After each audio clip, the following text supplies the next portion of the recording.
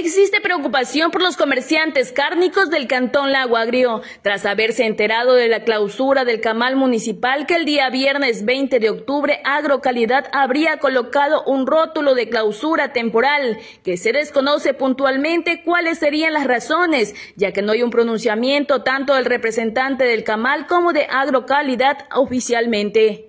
En casa nosotros no nos han avisado, hoy día de mañana recién nos llegaron a avisarnos de que ese camal lo han clausurado y estamos preocupados todo el mundo porque la gente necesita el producto y no hay para el día lunes empezar vuelta a trabajar. Como dicen que para ocho días, en ocho días, le digo, la gente van a sufrir por la carne que no va a haber.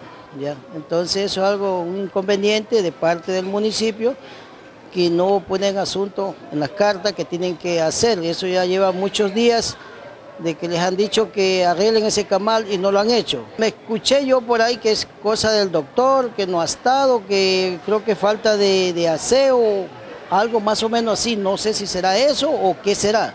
Ya el sábado 21 de octubre en los guardafríos de los comerciantes decían tener poco producto, mientras que para los próximos días este escaseará si es que no se da solución rápidamente a los problemas del por qué fue clausurado el camal municipal. Todo el mundo aquí, digamos, somos afectados porque aquí nosotros, si, queremos trabajar tenemos que ir a, a Chufín, a Sacha o a Cascales a pelar ganado allá y ahí traer la carne fallenada al, aquí al mercado. Es que eso es, digamos, la carne, lo, principal artículo, digamos, que aquí para, para el pueblo. Y, que no haya eso, ni aquí, digamos, por ejemplo, comedores, todo tienen que ir a comprar carne a otro pueblo.